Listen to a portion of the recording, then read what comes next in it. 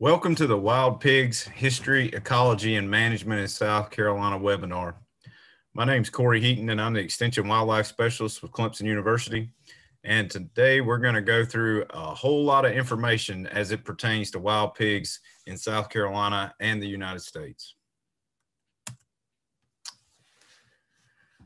We've been doing these hog programs across the state since 2007. Uh, so this is nothing new for us. And we've traveled around uh, pre COVID and uh, did a lot of classes, hands on classes with teaching farmers and landowners how to set up traps and how to be more effective with trapping. And uh, it's been a very successful program for us as far as getting people informed uh, about the proper ways to do things. Uh, and it's my favorite way of doing it, hands on, of course. But under the current situation, uh, tonight's webinar is about the best option that we have. Uh, but we have been doing these for a long time and we've learned a lot along the way and some things have changed along the way and we'll kind of present that to you as we move through this. Hogs have a pretty long history in the United States. Uh, we do know that the first pigs arrived here in 1539, courtesy of Hernando de Soto. But uh, during the Spanish uh, travels throughout the uh, the Americas, we saw pigs getting released uh, basically everywhere they stopped. And it is possible that they showed up in uh, the U.S. a little earlier than this. Um, and if you take a a moment to read uh, Dr. Mayer and Dr. Brisbin's book, Wild Pigs in the United States. They've done an excellent job of, of comprising all the history of wild pigs and how they've moved throughout this country. Uh, and it does a really good job of laying it out where those pigs originally started here. Um, and as we move into today, you know, the current population is estimated somewhere around 7 million in the United States. Um, and this has changed a little bit over the past 20 years. Uh, when I first started teaching these classes, we had hogs in 39 states and four Canadian provinces. Today, uh, we're depending on which source you look at, we're somewhere between 30 and 35 states with feral hog populations. Uh, a few states have been successful in eradicating them. Um, those states were particularly effective because they caught the situation early and managed to stop it before it got out of hand. Um, if you go to states like Texas, though, we're looking at 5 million hogs in Texas. And if you take in the, the whole area of Texas with that kind of population, we're looking at somewhere around 19 pigs per square mile. Uh, if you look at Georgia, Florida, and South Carolina, we're somewhere between 1.2 and 1.5 million hogs for those three states.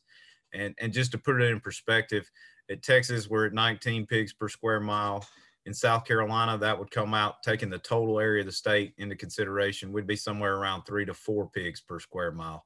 Uh, so much less of a problem here than in Texas, but still a very big problem. A little more on the history. Um, so some things that we do know. Uh, we do know that the first European settlers, the first permanent European settlers, purchased feral hog meat from the Native Americans. So by the mid 1600s, wild pigs were already well enough established in South Carolina that they were not only being hunted, uh, they were being sold, traded, bartered, whatever, uh, as a food source. So they've been here a long time. Uh, and going through the history, most likely the first introduction in South Carolina probably happened in 1526 uh, at the mouth of Winyah Bay. We had a small Spanish settlement that started there. Um, and more than likely they brought pigs with them. The settlement, of course, didn't make it at the time, uh, but that doesn't mean they packed the hogs up and left with them. They were probably turned loose. The first actual documented hogs in South Carolina was in 1566 in Beaufort County uh, at St. St. Helena settlement. Um, but there had also been a settlement on Parris Island a few years prior to that by the French. So there's a possibility that, you know, slightly earlier than that, they could have been pigs brought into the state. Sus scrofa is the animal that we're talking about. This is the wild boar, but it's also the source of domestic swine. Uh, originally native to Europe, Asia, and Northern Africa, um, but today you will find them spread, I believe, throughout every continent except Antarctica. So they have been moved all over the globe. Uh, they're everywhere. Uh, one of the things, though, that we can point out here, the wild boar does not very closely resemble uh, the domestic swine that we're all used to. Uh, if you're looking at wild boar, you'll notice that they're higher at the front shoulders than they are at the hips. So that gives them that kind of upright appearance. Uh, typically, they have a longer, more sloping snout than what you would see on domestic swine. Uh, you would notice the guard hairs to appear a lot different than they do or a lot thicker than they are on domestic swine. Um, they appear taller than domestic swine. And over the years, a lot of folks hunting, I, I hear a lot how big a hog was when it come running by. Um, they're not as big as you think they are. They just look big because they're taller. Um, they're more compact. They weigh less typically, um, but they are the same animal that domestic swine started from. Another interesting fact there, there are quite a few different species in the Sus genus. Um, and a lot of those are bearded pigs and warty pigs that are kind of scattered all over the globe. But in a lot of those places, we've lost some of those species. They, they have either gone uh, locally extinct or entirely extinct. And one of the main reasons for that, besides habitat loss, another main reason for that is the introduction of Sus scrofa. So when we brought wild boar or domestic pigs in, they actually outcompeted the native ones uh, and they're no longer around. Uh, so that's something as, as biologists today and land managers today, we really need to take into consideration. We know for a fact they've had some pretty significant impacts on wildlife. I don't know that it's fully qualified or quantified yet, but there is definitely a serious threat there to native species. A little more on the history. So the Russian boar, I hear that all the time, is actually the Eurasian boar, uh, native to the Ural Mountains of Russia, Poland, Germany. Um, they arrived in the US in 1890. Uh, a wealthy landowner imported some from Germany, released them into a 20,000 acre enclosure. Surprise, surprise, they got out which has been the case time and time again. Um, but in this situation, they were put into a split rail fence. So I don't know what they were expecting, but obviously they didn't stay long. Now, the downside to this is after this introduction, more and more and more introductions have taken place over the history. Um, and, and at this point, there's no telling how many introductions there's been. Uh, but people on a lot of these hunting properties really valued that Eurasian look.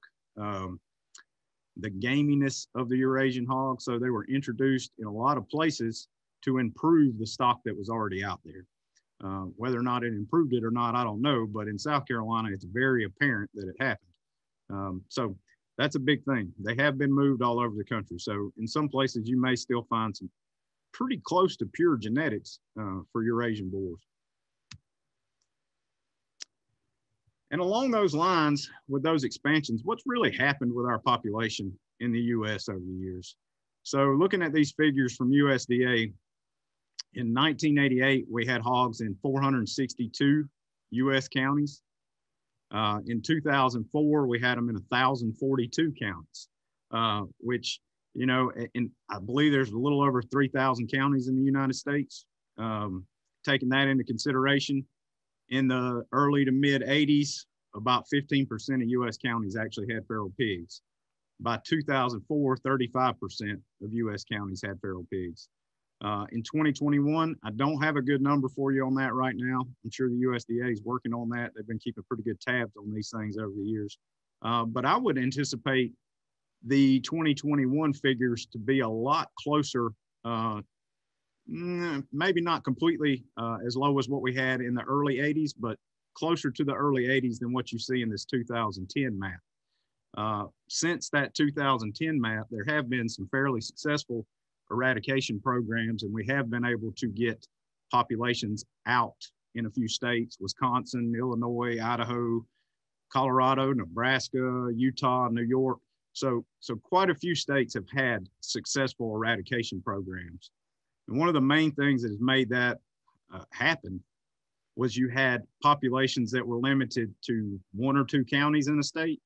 And within those counties, they were limited to one or two small geographical areas. And when that happens, it's pretty easy to get in there in a timely manner and take care of that before it becomes a problem. In South Carolina, we're dealing with a whole different animal.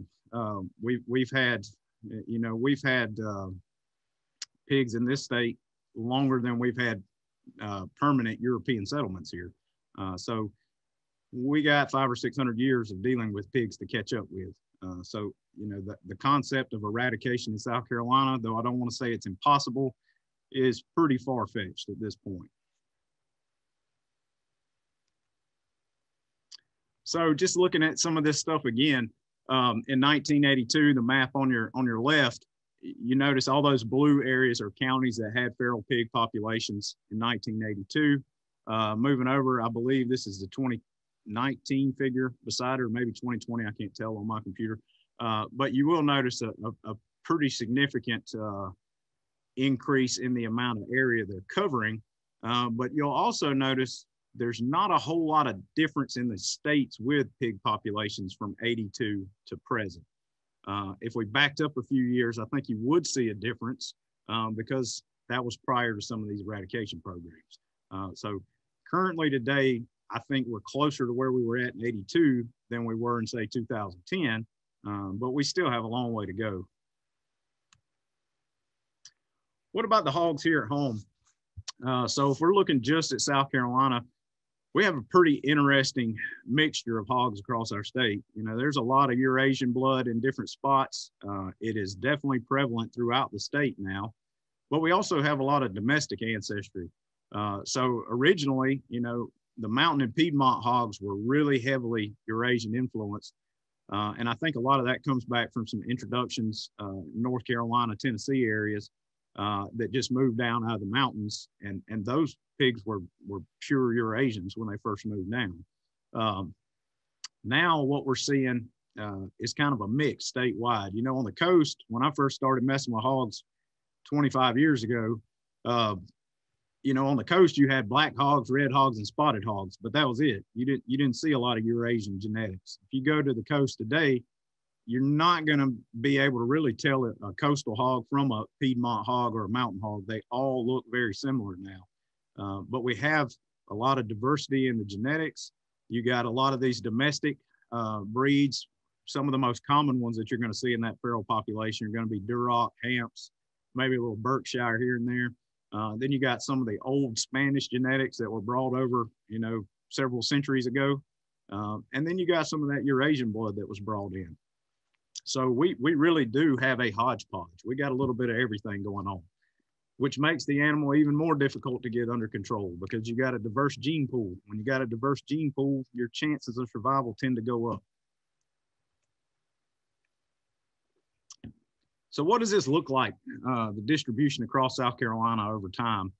Um, so like I said, back in the 80s, uh, we did not have them in all 46 counties. They were basically confined to those mountain areas, uh, the lower Savannah Valley, uh, the Wateree system, and the Santee Cooper area, Santee Lakes. Uh, you had them in the Pee Dee drainage and up and down the Ace Basin, but they were pretty much confined uh, to those riverine systems. Uh, and that, that pretty much stayed the trend up until the, the mid to late 80s. In the 90s, we saw hogs kind of go wild in this state. And I think that was well, I don't think I'm, I'm pretty positive that was entirely due to a lot of pigs getting moved around. Um, I still hear a lot about that, but I don't believe, you know, I, am not sure how much movement of these hogs is actually still going on today. In the 90s, it was an issue. To date, I don't hear about it as much as I used to. I'm sure there's still some people that move hogs around in this state, but we're not seeing it at the same level we did in the 90s. Um, but again, we started out with with pigs confined to those few counties, and then by 2011, um, you know, we were all the way up to all 46 counties having feral pigs. Now, these figures do a good job of representing what that population has done over time, but they can be somewhat deceiving. Uh, to me, when I look at these and I see that that county is solid red, it makes me think that pretty much anywhere I go in that county, there's a chance feral pigs are going to be there. Uh, and, and the reality is that that's not the case. This is a very valid figure, and it does a good job of pointing out uh, the trend with what has happened with pig populations, but it's not as accurate as it could be. So if we flip over to here, these are some maps that, that Charles Ruth with DNR uh, let me use that show where those populations are actually at. So if you look at it from a county level, this map's solid red. But when you look at the actual populations, um, it's not. What you see is is population abundances along these river drainages. And, and that would be what we would expect where we have existing populations are movements back and forth and in and out of those those those river systems. Uh, very common, what we would expect. A lot of that is natural movements, natural movements. Not always somebody called them, brought them over here and turned them loose. I think that's a, a little bit short-sighted. We're not giving those animals full credit. Yes, people absolutely move them up and down river drainages. I, I will give you that. But we have to take into consideration too those animals are more than capable of moving back and forth up and down those river drainages on their own without assistance. All right. I have personally watched a hog move over 13 miles in a single day. I have also seen hogs with tracking collars on them go from a bedding area and two hours later be on a bait pile almost five miles away. They're very capable of moving. And, and that makes makes perfect sense that they would move up and down those river systems. The problem and the easiest way to point out releases and introduction is when we start seeing these populations not tied. So when we get up here, there's not a population around this. Those pigs didn't just magically appear there. Somebody dumped those pigs out. All right if you get to looking over time, you would notice by 2010, a lot more of those little individual isolated dots appear.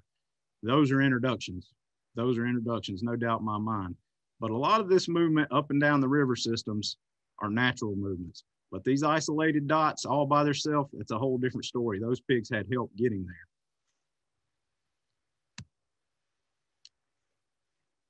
So what does our population look like? And I get this a lot, and I've, I've talked to quite a few reporters in the past few weeks about the pig population. And I keep hearing that the pig population in South Carolina is exploding. It's exploding.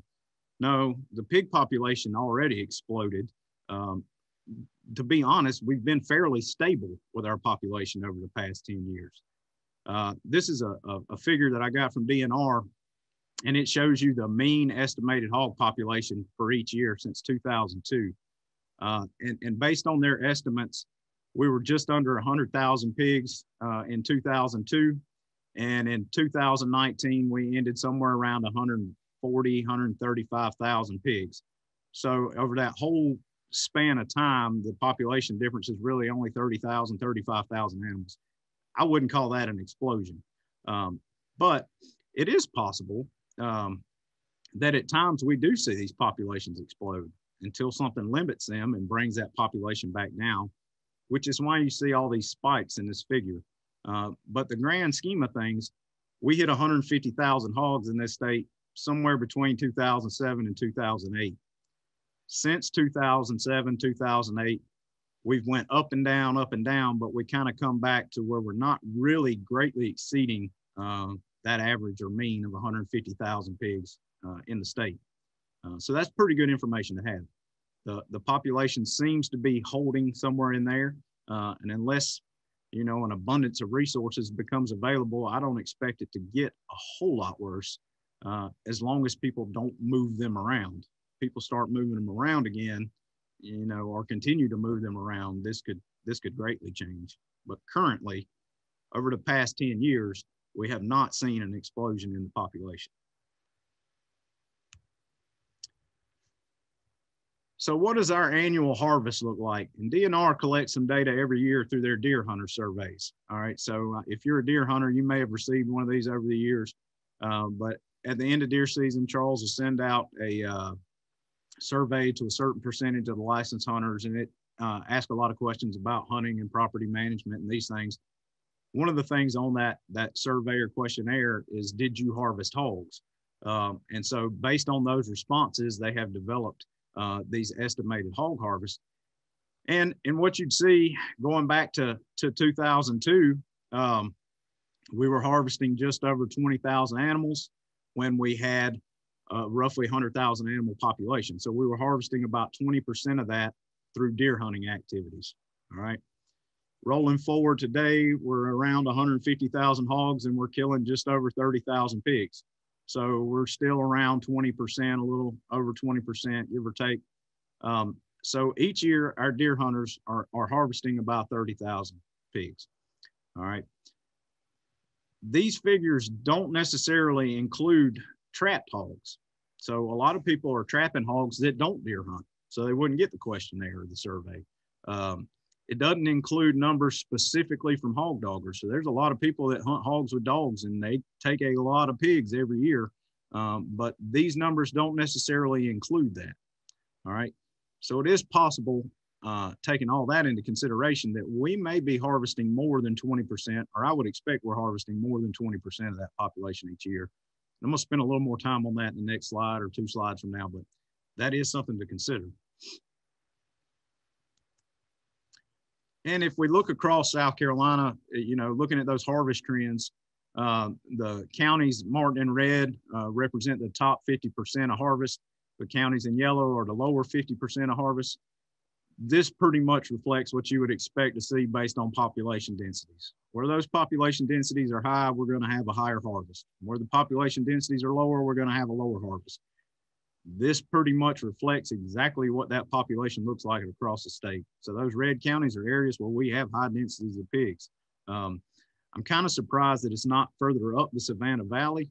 Um, I would have expected it to go a little higher up with those being high density populations, but uh, for some reason that doesn't seem to be the case. So what does that look like at county by county? Um, the top 10 counties in 2019 uh, for hog harvest, Allendale was number one, uh, Hampton and Calhoun, second, third, Anderson County, fourth. Abbeville was right up there. Bamberg County was pretty high. Sumter County was in the top 10. Marion, Berkeley, McCormick. All of those counties, I know from personal experience, I would have expected to be in that category because they have high density populations. Uh, on the other side of this, the bottom five counties were Lexington, Greenville, Saluda, Cherokee, and York. Um, that pretty much makes sense to me. Um, based on what I know about the, the hog population out across the state, I can understand that. And, and that's what, you know, again, just to reiterate, where we have high densities of pigs, we're going to expect the deer hunters to harvest more of those pigs. And again, these numbers are based on surveys that went out to deer hunters. So these are the counties highest for harvest for those that are taking pigs while they're deer hunting.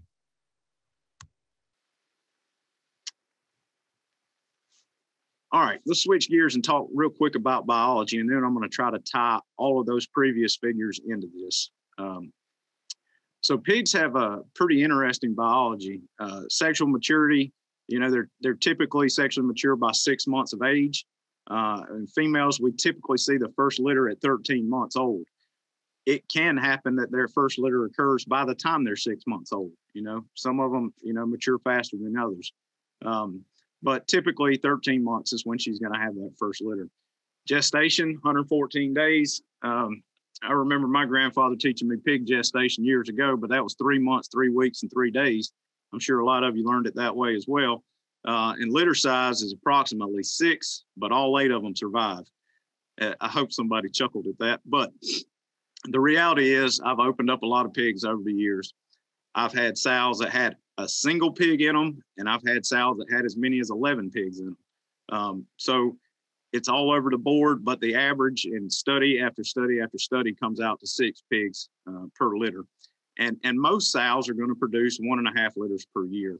Uh, piglets are weaned by the time they're three months old. They're capable of being fully on their own. Uh, although that doesn't tend to happen, you know, even in the situations where something happens to the to the sow, those pigs are going to find another group to get with. Um, they're pretty social animals. They don't they don't spend a lot of time alone when they're young. They're in groups. Uh, breeding season, uh, it's not like deer. It's not like turkey. It's not like any of the other animals we're used to dealing with. There's no defined breeding season for pigs. They're going to come in heat every 21 days whenever they come in heat, there's going to be a boar following that will find them. Um, so every 21 days, that sow is going to cycle again. Uh, and it's pretty unusual for her to go very long without without getting bred. The only only situations where I would expect that to be common uh, for sows to cycle without getting bred are areas uh, where we have new introductions and there are not a lot of boars in the area. Outside of that, there's going to be a boar that'll find them. Uh, lifespan. There's been a lot of work done on that. There's a good study out of Texas. Uh, basically shows that you know in the wild these pigs are going to make it four to eight years, somewhere in that range, um, and that's about it. Home range. I'm going to show you some more data on this in a minute, but home range is somewhere between four and six square miles. that that varies tremendously based on the habitat and food resources. You know, and and and some of these studies, you know, you get down in Texas where they've had some pretty severe droughts while they were doing pig studies, and and some of those home ranges get up around 20 20 plus square miles because food and water become so limited. They have to travel more uh, to find the resources they need. Size, you know, males are going to get to be 200 pounds, female fully mature 125 to 175. And these are estimates. You know, these pigs can get bigger than that. They can be smaller than that. It all depends on where you're at. You know, I see a lot of differences.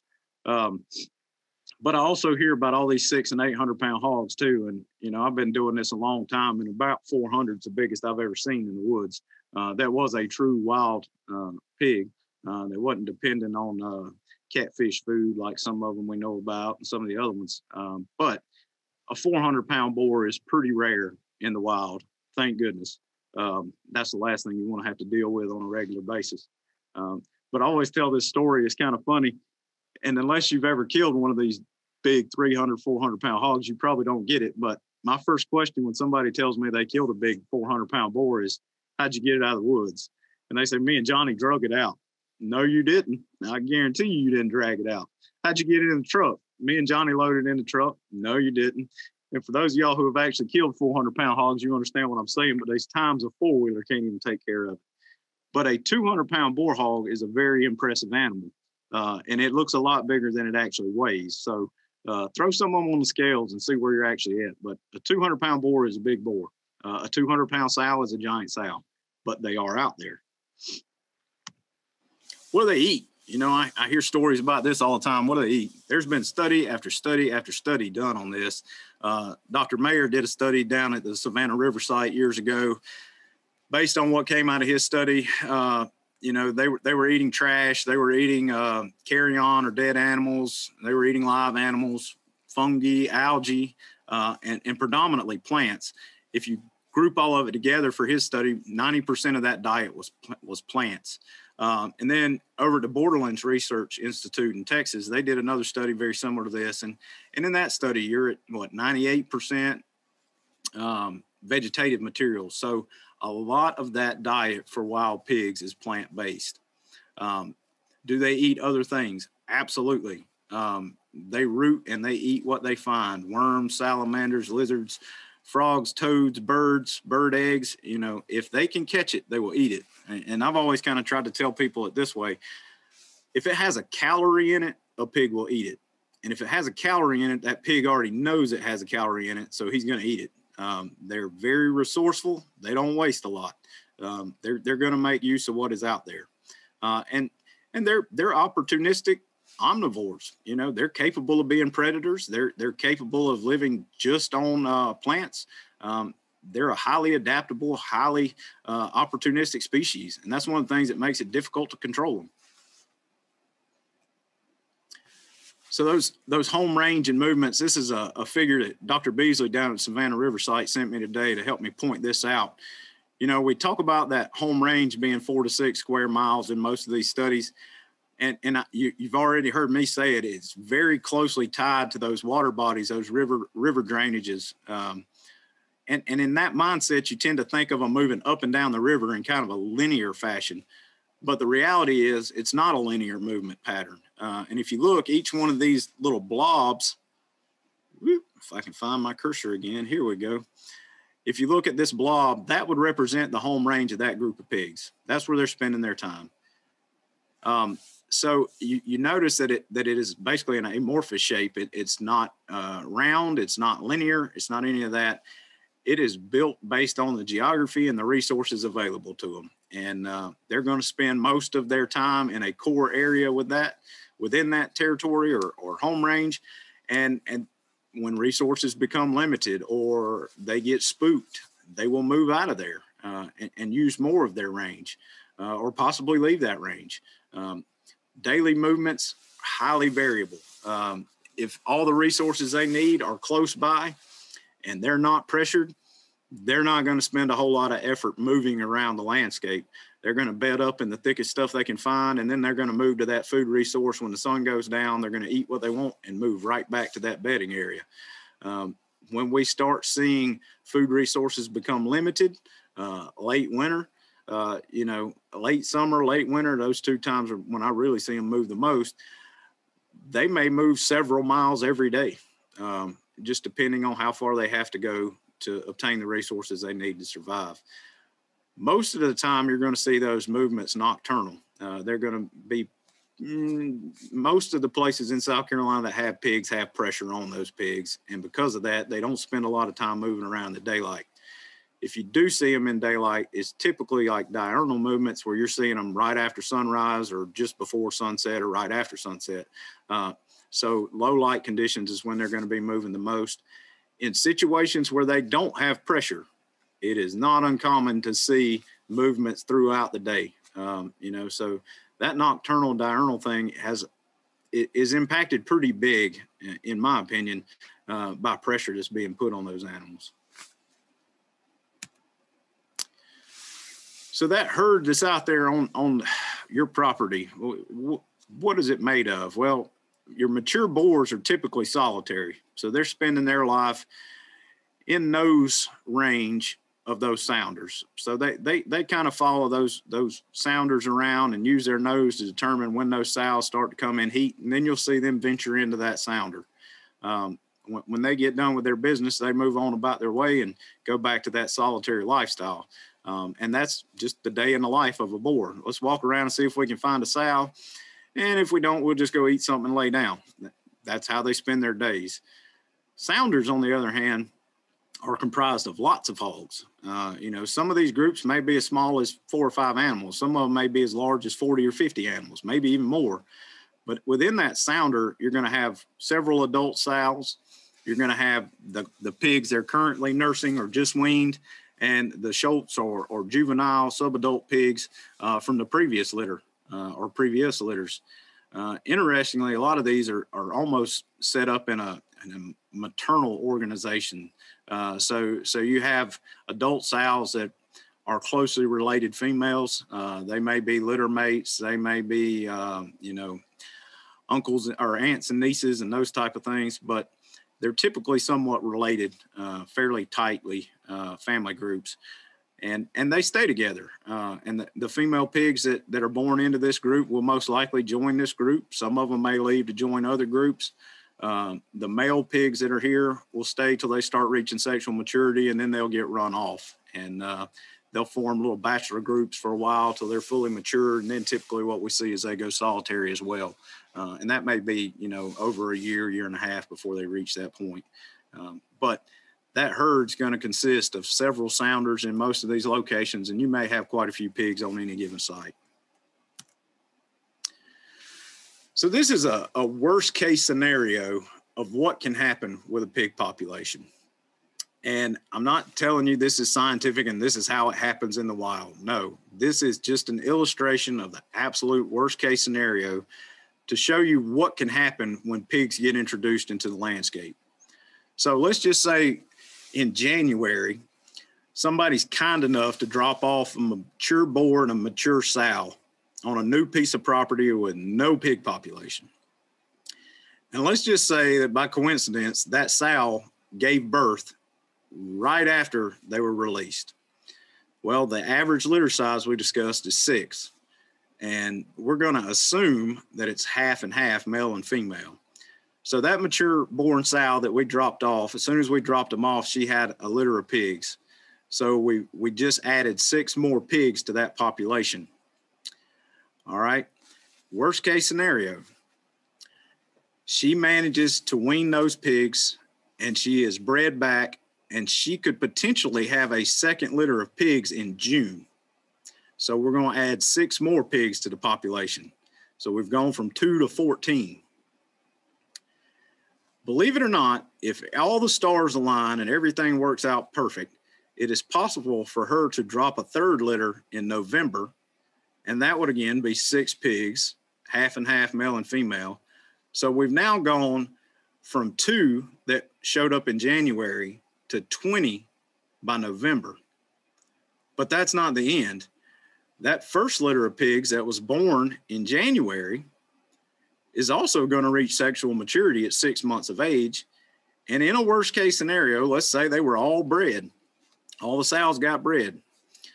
So each one of those three sows that were born in litter one can have six pigs in that litter. So now we have had six litters of pigs in a single year that was derived from the original two introduced in January. The scary thing about this, we started with two pigs. At the end of year one, we've got 38 pigs. So year two begins with 19 sows that are at or near sexual maturity.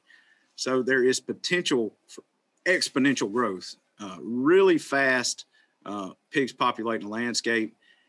And I'm not going to tell you I've seen this exact example play out, but I have seen introductions that blew up really quick. And, and one of the things we have to keep in mind if there are not pigs there, chances are there are resources there to support pig populations because they're opportunistic omnivores. There's not a whole lot they can't eat. And if they've got food, water, shelter, and a little bit of space for themselves, they can pretty much make it in this state.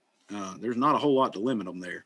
Uh, so, so this is scary, and this is why so many of us are concerned when pigs are getting moved around and dumped out in this state because it can blow up really fast. It's not like dealing with deer where you're going to have one or two fawns per doe every year.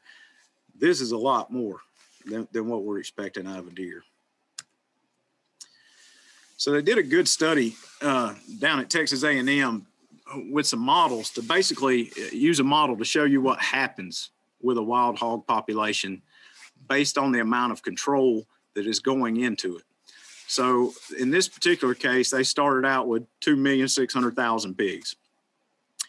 And if you look over to annual population harvest rate, so they had different models that they ran. They ran if they didn't harvest any pigs, if they harvested 15% of the population, if they harvested 28%, 41%, or 66%. All right. Then if you look over the next column, five year population increase. So if we don't harvest any pigs and we started with 2.6 million, five years down the road, we're at 8.6 million. If we harvested 15%, we're at 6.5 million. If we harvest 28%, we're at 5.2 million. If we harvest 41%, we're at 4.2 million. That's an increase. So you add that to the initial population. Uh, so, for example, with 0% harvest, we're up to over 10 million pigs um, in five years. But the interesting one in this particular model, with an annual population harvest rate of 66%, we have a five year increase of zero. That doesn't mean we have zero pigs. We still have 2.6 million pigs, but the population hasn't gotten any bigger. And if you look through the literature on on pigs uh, control, what you're going to see is, is somewhere between high 50s and 80 percent annual harvest required required to keep the population stable. So somewhere between high 50s and 80 percent of that herd has to be removed every year just to keep the population from growing. All right, that's a pretty big number. Now let's think about that in terms of South Carolina. So again, these are the same figures that I showed you earlier from DNR from their survey work to show you um, the harvest levels and the population level estimates for South Carolina. All right. So what actually limits that population in our state from growing? We got predation, we got diseases, we have resource availability, we have hunting pressure, and a big one that we don't discuss often weather. Predation you know what what actually is taking pigs in south carolina? Alligators obviously take pigs. Um, i would not put it past a coyote to take a piglet if he had the opportunity um, i don't foresee them making that happen in the presence of sows uh, but it could happen owls definitely take them um, you know when they're small enough for them to grab um, and that's basically it you know, Bobcat, I'm sure would take one if he got the opportunity. So predation's pretty low in South Carolina. Diseases and parasites, you know, in, in domestic herds, yeah, they have a pretty big impact on survival. It's not really what we see in the wild. You know, those diseases and parasites are out there and they're prevalent, but they don't seem to be limiting those populations. Resources, uh, definitely throughout the range. When resources become limited, populations suffer. You know, if we have a horrible mast crop, that population is going to suffer from that. If we go through an extreme drought and there's not vegetation to eat, that population will suffer from that. Um, hunting, hunting's a big one. Um, and, and I don't think we're giving this full credit here in South Carolina. And I think, you know, I ran this by TJ just to make sure I'm not insane with my thought process. But according to DNR survey work, deer hunters are taking, you know, what, 20 plus percent of that population out every year just by deer hunting. We don't know how many pigs are being taken out from night shooting activities. Uh, we don't know how many that the hog doggers are taking out we don't know how many are being trapped every year. But if you look at this population, it would not be far fetched to believe that with all of these hunting techniques combined, that we're actually harvesting the pigs that we need to harvest to keep the population stable, not to reduce it, but to keep it somewhat stable. All right. But I'm not going to tell you that's exactly what's happening. That is just something to consider because we don't know those numbers. The other thing we have to consider along with that is the population is is limited by the combination of all these factors, not necessarily just one. So if we're harvesting, uh, you know, 40 plus percent, and these other factors are taking out an additional 20 percent, well, there's our 60%. We should see that population somewhat stabilized. That's possible. And if you look at these figures, uh, starting in you know 2015, you start noticing that population just plummeted from 15 to 16. Well, if you were around South Carolina in 2015, you remember the flood that occurred, and you know the congaree herd got major major losses to the congaree herd. You had big losses in the Dee, uh, some parts of the Savannah Valley, uh, but that flood was devastating to that population. The closest one to me is Congaree, and it, it put a hurt on the pigs in Congaree. Was it permanent? Absolutely not. And that's not ever going to be the case. There are going to be some individuals that survive and go back to that worst case scenario. It doesn't take them long to repopulate. That's why annual work is needed. Um, but look at what has happened with the weather in this state since 2015. You had uh, the flood and hurricane in 2015. You had Tropical Storm Bonnie in 2016, uh, Tropical Storm Colin in 2016, Tropical Storm Hermine in 2016. We had Hurricane Matthew. Uh, then in 17, we had Hurricane Irma. 19, we had Dorian. Um, it's been on and on and on uh, with wet year, wet year, wet year since 2015. And this definitely helps us with those hog numbers. You know, I, I tell people this all the time. One of the biggest reasons why I think eradication in South Carolina is far fetched is because there are abundant populations in North Carolina. There are abundant populations in Georgia. There's not a mountain range in South Carolina that a pig can't come across. There's not a river in South Carolina that a pig can't come across. There's not a lake in South Carolina that a pig can't cross. So even if we did everything we could do, they're still going to come back in from these surrounding states. So we're we're we're really as much as I'm sick of rain right now, we really need to be thinking all this rain because these flooding activities are helping us. Yes, pigs are capable swimmers. They're really good swimmers. But they have to have somewhere to rest and get out of current. If you were at the Pee Dee the last time it got out of the banks, you know exactly what I'm talking about. You're going to go a long way before that current puts you somewhere that you can get on dry ground. Um, that's just the nature of the game. Uh, so I think if we combine all these factors together, while it might not give us a definite answer of what's going on with this mean population, it does make sense that between all of these factors, including all the different types of hunting and including the weather, we may be harvesting a sufficient amount of pigs at this exact point to keep that population from exploding uh, we're, we're keeping it stable. It's, it's slowing the growth. So a lot of you are aware that uh, the 2018 Farm Bill included a, a, pretty good sum of money, $75 million for federal swine eradication efforts across the U.S. Um, and the first round of that was funded at $16.7 million. And out of that $16.7 million, they're doing 20 total projects in 10 different states. South Carolina is one of those states. Uh, so through the USDA, um, APHIS Wildlife Service Division, um, they have a pilot project going uh, looking at eradication of pigs in a couple counties. The, the beginning of the project, they had uh, two South Carolina counties, Hampton County and Newberry County.